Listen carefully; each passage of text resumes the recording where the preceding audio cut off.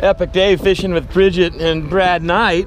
Brad's first time on the water. Tell me about your experience, Brad. Oh, I had a great time. You know, it's my first time out fishing on a kayak. I mean, beautiful scenery.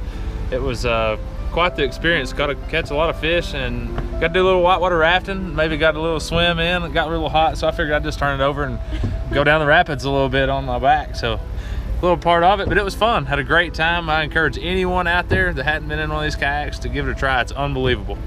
Awesome. We did good, man. Thank All I know is this guy here's never kayaked before, and he was a rock star. I took him in not the easiest place. We had to carry down at the powerhouse.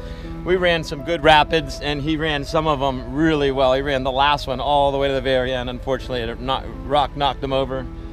Lost a shoe. See, check it out. I got a new trend I'm starting. It's the dress shoe flip flop combo.